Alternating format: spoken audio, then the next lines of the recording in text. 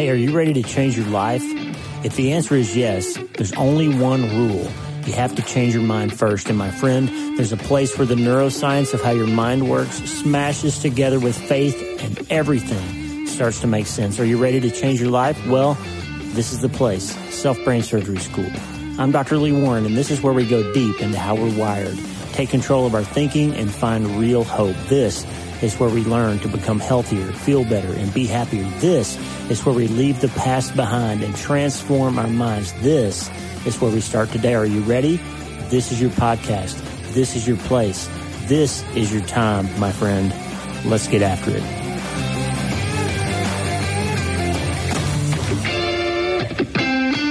I've been trying to sort of write a new intro for the show as we get close to season nine. Season nine is going to be all in on the neuroscience side, neuroscience and faith smashing together, how we make all this stuff work.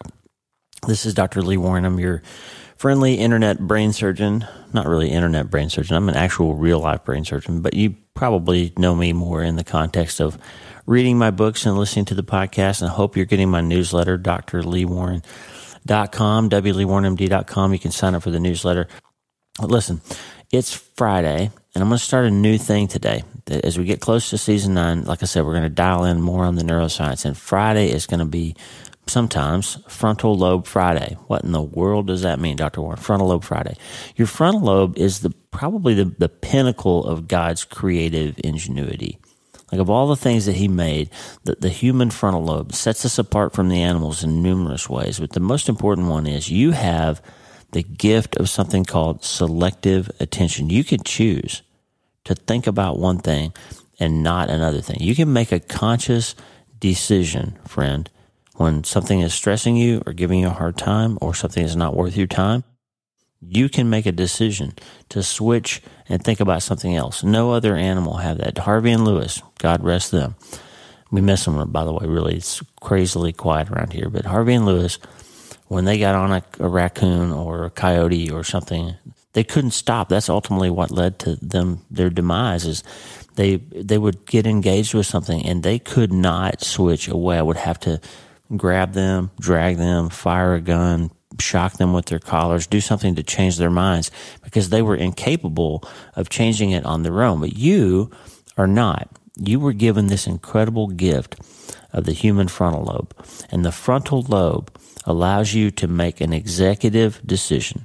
You know, we, we talk about uh, the way businesses are organized, and most uh, companies and our hospitals, a good example, have what they call the C suite, the, the, the chief officers suite where they'll have this chief executive officer, the chief operating officer, the chief financial officer, chief nursing officer, all those people, the chiefs, the C's are in the suite of all those offices and they're in charge of the business of that organization, right? And in big companies, it's often the top floor, like the, the, the suite of the executives up there, right? So down on the ground, in a business, if, if something's happened and there's a fire in the cafeteria of the hospital, it's a little while before the executives get involved in that. And what's happening on the ground in the cafeteria is that somebody's getting a fire extinguisher and trying to put that fire out and making all kinds of decisions and, and implementing policies that hopefully had prepared them for handling whatever's going on that putting that fire out, right? But the business of what's happening acutely, immediately on the ground isn't directly under the control of the executives, right? But in a little while, somebody's going to make a phone call or send a text or run down to the CEO's office and they're going to say, Hey, there's a fire in the kitchen. And the CEO is going to send somebody or go himself or herself and go down there and get involved and, and make sure that this, that the problem is being handled appropriately, that resources don't need to be allocated differently, that, that decisions and policies and, and procedures have been followed properly to try to prevent it from happening again. All that kind of stuff the executives get involved in that ultimately will lead to a better system, hopefully, if they're, if they're good executives, right? Ultimately will improve the safety conditions, ultimately reward the heroism of whoever got involved and solved the problem and put the fire out and saved everybody or, you know, challenge, and punish, uh, re-educate, handle the people who didn't do the things properly that led to the trouble, that they will fix the problem and make sure that going forward, things are better, right? That's what you hope your executives do. But the most important thing about that is the executive function takes a little bit of time to get involved. And on the ground, in the early stages of the problem flaring up, other parts of the organization are firing. Well, your brain's wired the exact same way. Your limbic system, particularly the amygdala, all this emotional stuff that the sympathetic nervous system and the parasympathetic nervous system happen instantly, instinctually, quickly, and they get things like fight or flight, fear, anxiety, stress, trauma responses, all those kinds of things almost ingrained synaptically to happen instantly without you having to think about them. That's the analogy we always talk about when you put your hand on something hot. You immediately draw it away, which is a whole complex bunch of neurons firing to make your arm pull away before you think to yourself, I need to move my arm, right? You've, you've already gotten yourself out of danger. And the problem with that is that same set of reactions and responses to traumas, real or imagined, or fear, anxieties, real or imagined, happen automatically in other areas of our lives too, and that messes up our relationships and causes us trouble with our kids or our parents or our employers or employees. That those automated responses, right? And and I just want you today, here on Frontal Lobe Friday, I want you to realize that your more basal, more instinctual, more ingrained responses aren't always happening in your best interest. And so learning then to get your executive function engaged more quickly is a superpower that will help you become healthier and feel better and be happier in your life. It will help you. Okay. Learning to get that executive function happening. And I want to remind you of a quote from the book called Disruptive Thinking by T.D. Jakes that I read. And boy, I would love to have him on the podcast sometime. He is really hard to get a hold of. Bishop T.D. Jakes would be a great interview for the, for the show. But his book, Disruptive Thinking, was incredible to me and covered some ground, made me think about a lot of things differently than I have.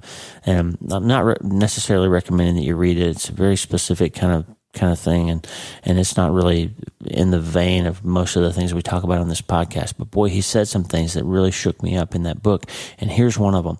The older we get the longer we live the more we realize that we are born looking like our parents but we die looking like our decisions. We're born looking like our parents but we die looking like our decisions. Friend that is exactly what you need to hear and you need to absorb on frontal lobe Friday. You need to you need to get that. You're born looking like your parents, but you die looking like your decisions. If you're dealing with some kind of problem right now, and your go-to reason for why you're dealing with it is that's just how I am. That's how my parents were. My dad was that way. That's just the way I was raised. If you're saying anything like that, or I'm I'm this way because that thing happened to me when I was 17. I'm, I'm, I'm behaving this way. I'm drinking this thing. I'm sleeping with that person. I'm doing this thing. I'm not going to church. I'm doing this and I'm feeling that and I'm reacting this because of so and so that did this thing to me 20 years ago or my child died or my husband died or my, my wife left me. If that's the, the answer to why your behavior is what it is, then I would just suggest to you that it's not their fault anymore because you're making a decision. And you may not be consciously making it, but you are making it. You're making a decision not to change your brain and not to change your life because you can. You have the absolute power to get your frontal lobes in an executive role to make the changes that are needed to be made to make your organization of your life better than it has been. You can make those decisions. You can make those changes. You may think, no, I can't. I've lost too much. And I want to remind you of Ernest Hemingway in the book The Old Man and the Sea, which is one of my favorite little books. If you've never read it, you should go read it. It'll take you about four hours probably. It's a short little guy, little little book. And the story is an old man in a boat out in the ocean. He catches the big fish that he's been trying to catch his whole life, the biggest marlin he's ever seen. He's got it lashed to the side of his boat, and all of a sudden the sharks show up and they're going to take that fish from him that he's fought so hard for. It's the only thing he's got in his life is his one triumph.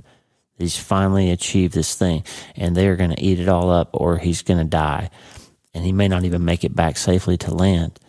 And he's struggling because he's out in the boat in the middle of the ocean in the in the midst of the struggle with the sharks and the distance and the weather and the lack of food and water and all those things and he says this now is no time to think of what you do not have think of what you can do with what there is now is no time to think of what you do not have think of what you can do with what there is. And friend, that's what I'm telling you today here on the inaugural episode of Frontal Lobe Friday. You can stop and you must, if you want to become healthier and feel better and be happier, you must stop living your life in the echo and shadow of what's happened before and what other people have done before and how you think your genetics are and how you think your parents forced you to live and think and behave in a certain way. And you must stop thinking I don't have this and I don't have that, and that's why I can't be happy. Or if I could only get to this place or only get that promotion or only achieve this thing, then I would be happy. If you are believe that your happiness and your peace of mind and your ability to have a meaningful and purposeful life depends on any external circumstance, person, relationship, achievement, experience, emotion that could be taken from you or has been taken from you, then you will never actually be happy. You will just find yourself in a series of shooting at moving targets that you are never able to hit and wondering why you can't find your way towards being happy. And you will ultimately blame it on somebody else or something else that's happened. But now, my friend, is no time to think of what you do not have. Think of what you can do with what there is. That, my friend, is the way to get your frontal lobe engaged and take over all those basal instincts and teach them new ways to behave. You make new brain cells every day of your life. And those brain cells are looking for a job to do. They're looking for a pathway to be wired into because neurons that fire together wire together. And your job as the CEO of your own life, and please, please, please accept the title of the CEO of your own life. Now, understand, even CEOs answer to somebody higher. Okay, so I'm not saying you're the God of your own life. I'm not saying that because if you have it right, if you're doing things properly, you're going to be in submission to the Lord and He's going to help you live the life that He designed for you. And that's going to make you even happier and even more whole and aimed at the purpose that you were created for. So, so I'm not saying be the God of your own life. Don't hear me saying that. But the CEO answers to the board. Okay. The CEO answers to the shareholders. And, you, and you, if you're the CEO of your own life, you answer to the Lord and He's going to help you be better at managing your own life. Okay. So when I say that, just understand the context in which I'm saying it. Your frontal lobe is the executive of your brain and your mind, and your brain and your mind control what your body does, and your body controls what your life looks like. Okay? And now we know from epigenetics and neurobiology and interpersonal neurobiology that the things you think about change the way that your brain behaves, and that changes how other people experience you and changes their brains too through mirror neurons. And you are in, actually incredibly influential in the life and success of other people around you and in the genetic changes and markers that get expressed in your children and your children's children and your children's children's children. That's the basis of generational curses. It's also the basis of generational blessings. And you can be in charge of deciding that it's going to stop with you or start with you to get better. Okay? I want to tell you if you really want to tune in to your spirit and start hearing things that are better than this is just how I am or this is how it's always going to be or I can't make this happen because I'm I'm just fated and genetically coded to be this way. I want you to understand God has a different story for you. How do you hear him? Jesus is what God sounds like. Pete Greig said that in his incredible book, How to Hear God. If you're wondering why you're not hearing God, the first thing to do is cuddle up to places where he definitely is, and that's in the Word. He's already given you a lot of his own words. And Jesus is what God sounds like. So get to know him that's going to give you some tools, some toolkit, some prehab to handle the things that you think about when you're going through something hard. Okay. And that's going to allow you to get your frontal lobe involved and learn how to do that front, that thought biopsy and put that little space in between the stimulus and that immediate, hey, I got to put this fire out, and hey, maybe I should call the CEO and find out what I need to do next before I make a decision that might be the wrong one after I get the fire out. Okay? Think about getting your executive team on board. Let those smart neurons help you make better decisions so that you can stop dying looking like your decisions if they're not good ones. Okay? Look like better decisions. I'm, I'm, I'm, rambling just a little bit, but I want you to dial it in with me as we get close to the conclusion of this episode. Your brain is wired to help you make pathways that automate decisions, feelings, and behaviors so that you don't have to use as much brain power to think about them. That's why you can drive to work after a few days to a new job without having to think about all the turns. And you can instead start thinking about the audiobook you're listening to or the radio. You don't have to think about all the stop signs and all the turns and all the lights and changing lanes and all those things because your brain will wire that in over time as something that you can do without having to expend a lot of mental energy on it. So remember, be kind to yourself. Be trauma informed towards yourself. Remember not what's wrong with me, but what happened to me gives you insight, not excuses about how you can move forward from now because what got you here to this place where you're listening to this podcast and wondering how you can make things better and wondering if you can really test out some better opportunities to, to live differently in the future this September as we're examining ourselves, then also be patient with yourself because neurologic damage in my patients when they have a spinal cord injury or brain injury the first thing i tell them is be patient. These wounds take a long time to heal. Your spinal cord takes a long time to get better. It doesn't happen overnight so be patient with yourself. And love your brain and understand the way it's wired and that you are given this gift of the frontal lobe that nobody else in all of creation has. You can decide what you're going to think about and Paul says in Philippians chapter 4 hey, if you're unhappy, if you're anxious, if you're stressed, then maybe think about some different stuff. Maybe change what you think about first. Maybe just spend a little time getting your brain on some different things. So if you're stressed, if you're worried, if you're concerned, if you're anxious, then hear these words from the Apostle Paul from 2,000 years ago. Do not be anxious about anything, but in every way, in every situation, by prayer and petition with thanksgiving, present your request to God. And the peace of God, which transcends all understanding, will guard your heart and your mind in Christ Jesus.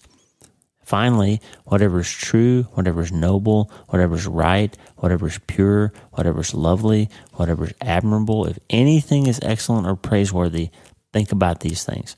That's what's going to help you, friend. Change your mind. You'll change your life. Take control of that beautiful frontal lobe that you have. Stop using your past as an excuse and enable instead a new pathway forward because what got you here won't get you there. On this frontal lobe Friday, we're going to change our minds and we're going to change our lives. We're going to grab a hold of the power of directed neuroplasticity. We're going to rewire our brains and start understanding that it doesn't have to be the way it's always been, but we do have to start today. Hey, thanks for listening. Please subscribe to the show so you automatically get every episode. And if you like the show, you'll love my weekly letter. Check out my writing at drleewarren.substack.com, drleewarren.substack.com. Get the free newsletter every week for my best prescriptions for becoming healthier, feeling better, and being happier through the power of faith and neuroscience smashing together via self-brain surgery. drleewarren.substack.com. And if you need prayer, go to the prayer wall at wleewarrenmd.com slash prayer. The theme music for the show is Make Us One by Tommy Walker, graciously provided for free by the great folks over at TommyWalkerMinistries.org. Check it out and consider supporting them. TommyWalkerMinistries.org. Remember, you can't change your life until you change your mind. And the good news is you can start today. I'm Dr. Lee Warren. I'll talk to you soon. God bless you, friend. Have a great day.